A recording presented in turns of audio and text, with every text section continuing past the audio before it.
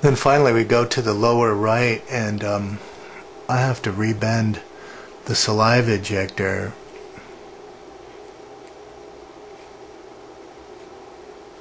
and put another right hand bend in it. Um, I I'm not sure if I mentioned these soft stops, but I call it a suction muffler. It really muffles the sound, and it really makes it easier, at least for me. And you position the um, the aspirating part of the saliva ejector about oh, a couple millimeters inside the end of the soft, soft stop. I, I like these things. We use them a lot. They're uh, made by SmartPractice. Um, again, it's positioned here, and and the nice thing about that, bending it like that, is it it stays out of the way, at least for me.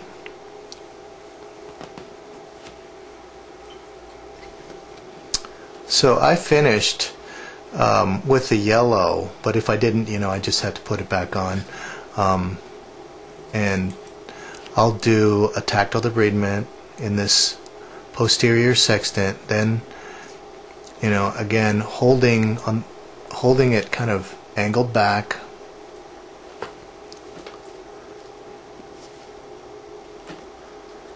and getting to the positioning by looking in the mouth, getting to the distal lingual and going around cleaning.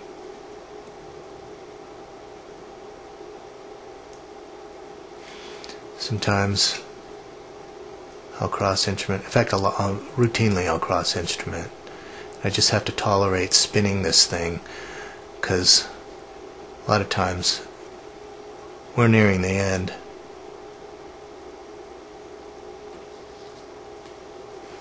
I can do that.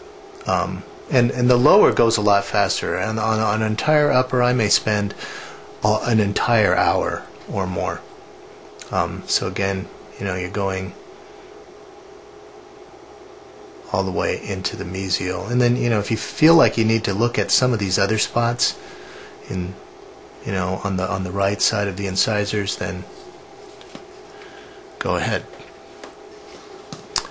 So I've switched my Explorer now to the yellow yellow or the left left, positioning my, um, rotating my insert.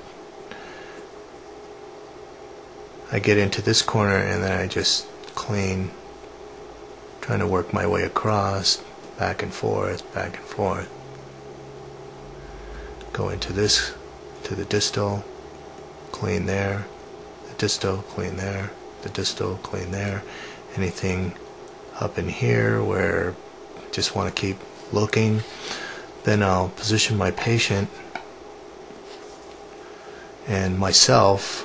Well, actually, I position myself. I keep the patient in the same position. Um, and again, you have to angle back.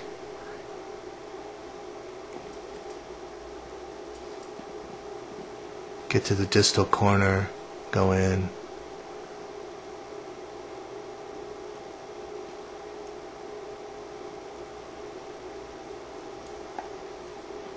All the way on the buccal. Now you can use the red, the right Explorer. In both of these areas on the right sides of the posterior teeth you can use the red Explorer. Um, I find that I have to really more severely angle this thing back in order to get it in there and it puts a little strain on the top of my forearm so I don't like doing it it's just you know what's more comfortable for me. And being comfortable is just a huge part of this.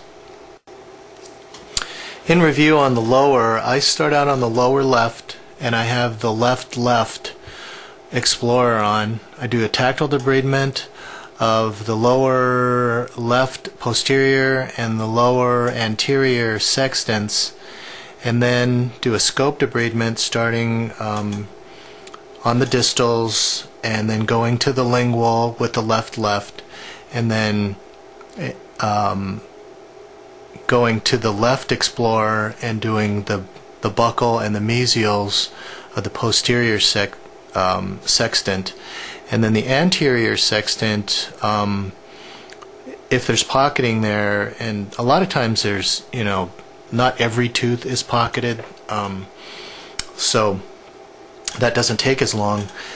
Um, and then, so on the lower left and the lower anterior, I rarely use more than two explorers.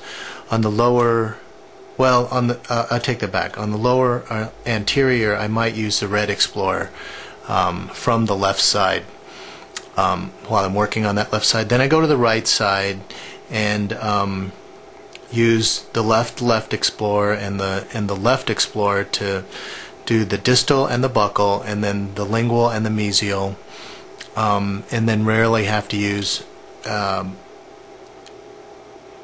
any of the right viewing explorers, especially the right right. Hardly use. I, I don't remember the last time I used the right right, um, and occasionally have to use the right.